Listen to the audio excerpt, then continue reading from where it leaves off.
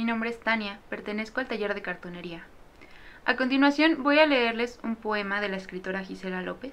Cuando roban los sueños a la vida, el cielo se encapota, los mares desbordan de sal, se resquebrajan, amarga suma de lágrimas.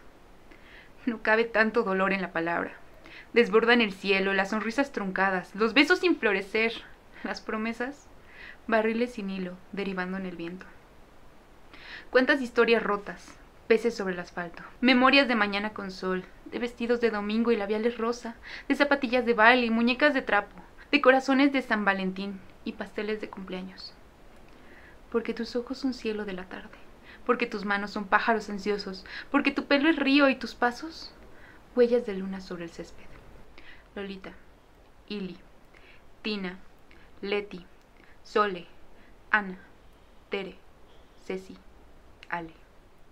Sus nombres tapizando la ciudad con gritos, con margaritas pisoteadas, con poemas muertos antes de extender las alas. No podemos cerrar los ojos al terror, su laberinto podría devorarnos. Para contener esta sombra que se cierne, sumemos nuestras voces a la palabra, hagamos pactos de amor, treguas de dudas, que no falten rosas, ni versos, ni canciones.